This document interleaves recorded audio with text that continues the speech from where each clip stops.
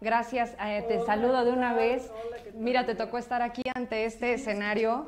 Este desarrollo importante para Zacatecas, muchas necesidades. Muchas necesidades y estamos hablando de no solamente que esto quede en buena voluntad, sino en el entendimiento así de simple, ¿no? Esto es gobierno, gobierno del Estado y tiene que haber un respeto, así como se ha tenido hacia la federación.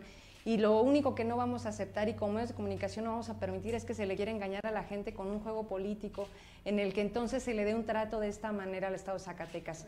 Creo que es ahí donde nosotros como medios debemos de jugar un papel muy respetuoso, pero sobre todo muy responsable de decirle, estas son las cosas, reflexionemos sobre qué está sucediendo y entonces ahí determinemos nuestra posición, cómo actuar, cómo opinar y cómo tratar de respetar. Pero esperemos que en breve tengamos más información de parte de quien corresponde y es momento de cambiar de tema y por eso tengo aquí a Lupita Marchand, arquitecta de la Secretaría de Desarrollo Urbano, Vivienda, Ordenamiento Territorial. Le decía ahorita, todo eso, todo, eso, cargas, arquitecta, exactamente, más lo que se agregue. y más lo que se acumule, lo que de por sí cada uno de los temas este, implica.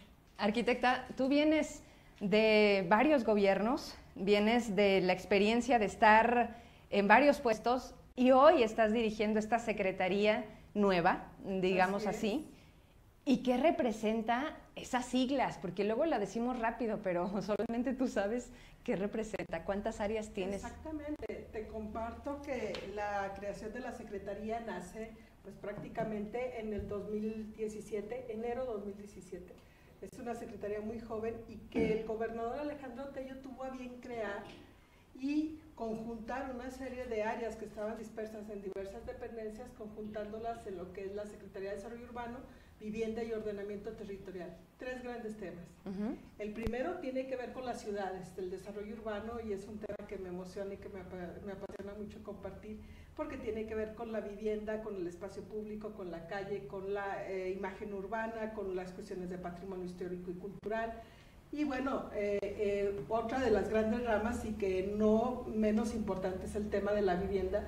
Imagínate tener la responsabilidad de conducir el tema de la vivienda en el estado de Zacatecas.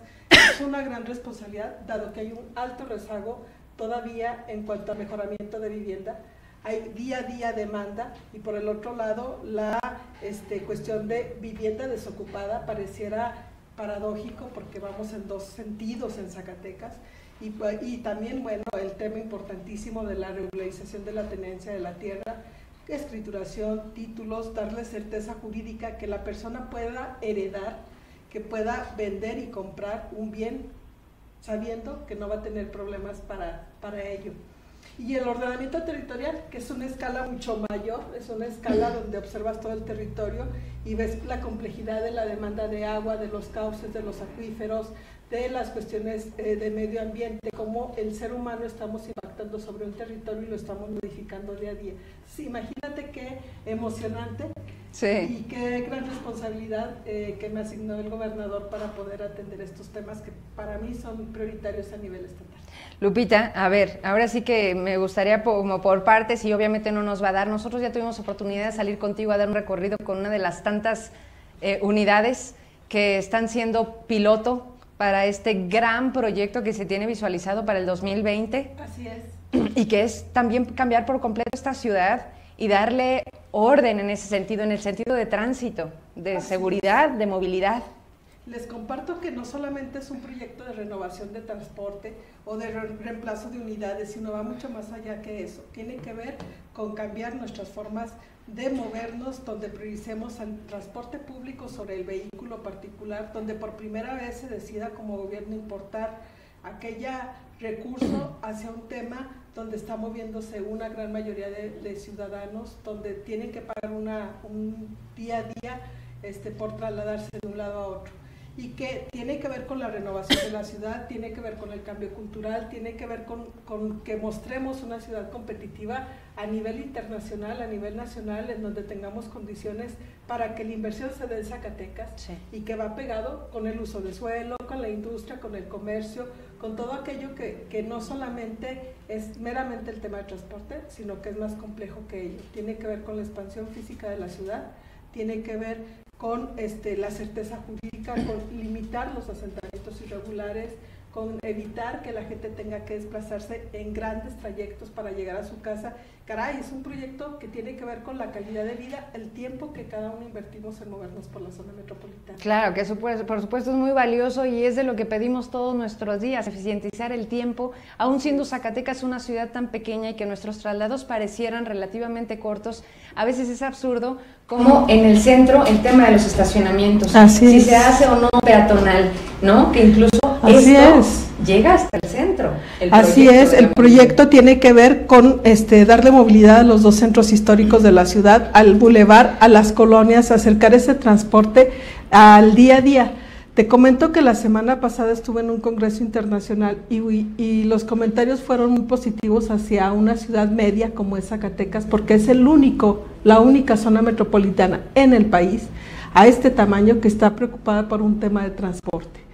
Sí, lo sabemos en grandes ciudades, Guadalajara, Monterrey, Puebla, Ciudad de México, pero en temas eh, de zonas metropolitanas o ciudades intermedias menores, somos los únicos que estamos tratando de establecer un cambio radical en tema de hacer ciudad, en tema de comunicar la ciudad y en temas de eh, establecer normas y criterios que tengamos mejores desarrollos habitacionales, industriales o mejores calles y que va aparejado a la normatividad calles con banquetas, calles para, los, para cualquier tipo de persona ah, que decida moverse como se le eh, antoje moverse, este, sin necesidad de tener una limitante al salir de la casa porque no hay banqueta o porque está obstruida, porque la sección es muy limitada o por qué de repente en zonas habitacionales densamente pobladas encontramos pocos árboles cuando debería ser al revés, o encontramos la escuela más distante cuando debería estar adentro, o cuando encontramos el peor bulevar cuando debería ser el mejor.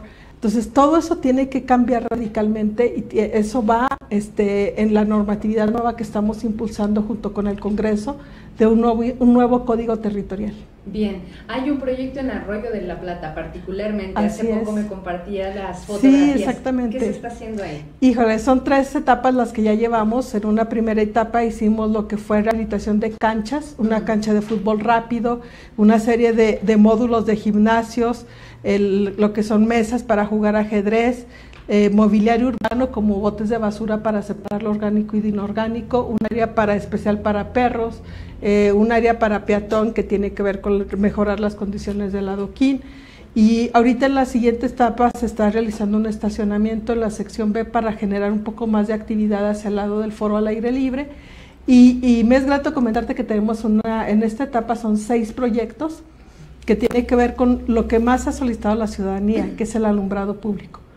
Se van a colocar más de 800 lámparas a lo largo de todo el bulevar eh, otro de los temas importantes es mejorar la pista para trotar, ya que muchos corredores pasan por la pista y está en pésimas condiciones. Lo que estamos es reemplazando esa, esa carpeta, mejorándola, acompañados de la ciudadanía. ¿eh?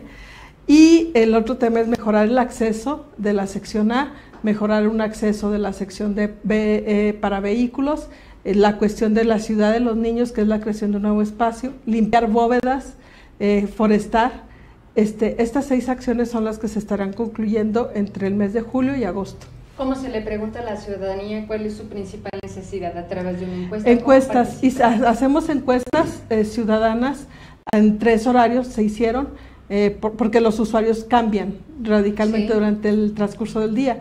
Por la mañana vemos este, atletas jóvenes corriendo, adultos, Luego, a más horas eh, del día, como a las 9 de la mañana, es un trayecto, es un paso de, trabajo para desplazarse de un sitio a otro. Luego, otro grupo de adultos mayores, que hay muchos adultos mayores haciendo ejercicio. Eh, por la tarde hay jóvenes. Eh, hay horas que se ocupan en ciertas zonas, por ejemplo, de jóvenes, como es el Teatro al Aire Libre o como es parte de la sección A y C. Eh, se nos han acercado muchas señoras que hacen, este, que bailan y hacen otro tipo de actividades sociales, en donde ellas nos van diciendo, este, por ejemplo, no nos quiten estos gimnasios o háganlos para acá, agrúpenlos, pero el tema en que todos coinciden definitivamente es el del alumbrado público, por la seguridad. Con eso se dan otras cosas y quizá teniendo una luz encendida sintamos un poco más de seguridad. Exacto. Porque lo oscuro, cualquiera está ahí. Y Arroyo de la Plata, ese, ese corredorcito, ha sido de un sinfín de denuncias ciudadanas, de robos, de asaltos, de, de muertes. O sea, estamos hablando de algo que, que ni modo, derecho, como es. Y entonces, si eso no lo puede apoyar un tema de luminarias, yo creo que está en las manos de poder atender esa, esa por supuesto, por supuesto. Y comentarte que algo que desafortunadamente sucede es que el desarrollo urbano lo ves a largo plazo. Alguien me decía hoy por la mañana, es que ya son demasiadas acciones en el Parque Arroyo de la Plata. Bueno, es que son esas y las que necesite, ¿no? Este, es una cuestión de demanda social, es una cuestión de entender el espacio público como la gente lo necesite, no como tú como funcionario lo percibas. Este, entonces, si entendemos esa necesidad ciudadana, creo que estaremos dando respuesta a lo que a lo que se necesita, no a lo que como funcionarios creemos que es más viable para la sociedad. Por eso es la importancia de trabajar con grupos sociales y lo haré cuantas veces sean necesarias. Me encanta recorrer el parque, a veces lo hago con ciclistas, otras veces con atletas, otras veces con este protectores del medio ambiente, con jóvenes que nos han ayudado a forestar. Eh, también con, grupos protectores de animales, con gente de la universidad, con scouts, en fin, con quien sea, este, haré los recorridos que sean necesarios a ese y a otros espacios, aun cuando me digan que, que, que, ya, ya se cansó el tema del parque. Creo que no es un tema que debe cansar, es un tema que da para mucho, pero también hay que dar las condiciones para que más gente lo use. Entre más gente lo use, entonces obviamente eh, ese era un espacio más seguro, pero para eso tenemos que darle las condiciones de uso. Sí, y aquí una de las peticiones que hacemos de manera constante es que los funcionarios salgan, que los funcionarios sepan del cargo que tienen y que no solamente quede en un tema de oficina. Eso a ustedes les da un escenario por completo distinto. Y te voy a decir algo, arquitecta, que yo creo que tú coincides. La gente está esperando esta oportunidad de verte caminando para entonces acercarse y decir, es la arquitecta marchando, tiene en sus manos esto, le puedo proponer y es aquí donde con esto termino por esta ocasión, porque hay tanto que meternos a, claro, Voy a ir a que conozcan a la gente que está, que siempre ha estado, que sigue trabajando y que hace parte de tu equipo. ¿Cómo la gente puede tener contacto con la arquitecta Marchand? ¿Cómo yo puedo decirte, me interesa este proyecto, te propongo mi colonia, mi casa, sí, ese directamente en el edificio F, Ciudad Administrativa, pero también estamos presentes en las redes sociales a través de la, propia página de la Secretaría, en donde directamente yo le doy seguimiento. ¿Tú contestas? Este, y yo contesto. Muy bien. Eh, esa es una oportunidad de que la gente nos manifieste. Así lo han hecho en otros temas de vivienda, en otros temas de escrituración, en otros temas de transporte, pues ¿por qué no en otros más? Claro, y si no, también hay la capacidad de decir, eso no es aquí, pero te canalizo, Ah, claro, por supuesto que sí. Muy bien. Bueno, Lupita, eh, ¿cuáles son tus redes? Eh, es página, la página de Secretaría de Desarrollo Urbano. Okay. Este, eh, así la, aparece Secretaría de Vivienda, en la página de internet aparecemos como Secretaría de Vivienda y obviamente este, dentro de esa página hay muchas ligas a todas nuestras redes. Ya ahí está. Así es. Bueno, pues muchas gracias. Hoy fue un programa amplio lo ameritaba. Eh, quiero despedir primero a Lupita y luego voy con los mensajes, como siempre, ¿te parece, Beto? Sí, Lupita, muchas, muchas gracias. Este, muchas seguimos gracias. pendientes. No, al contrario, a ti. Y bueno, aprovecho. Arquitecta Lupita, desde Grupo Modelo queremos colaborar desde temas de reforestación. Ah, excelente. Bienvenida. Felicidades a la doctora arquitecta Lupita Marchán por ser una funcionaria honesta. Alberto Rodríguez le escribe. Y por acá también vi otro, Lupita, porque si no se me va y sus saludos no es lo mismo mandados que decidos aquí, que decidos, que dichos aquí enfrente de, de cara a cara. Lo que, bueno, este es del gobernador. Ejemplo, saludos a Lupita Marchant y pues bueno, si no, se los mando, arquitecto. Muchas gracias. muy bien, pues muchas gracias.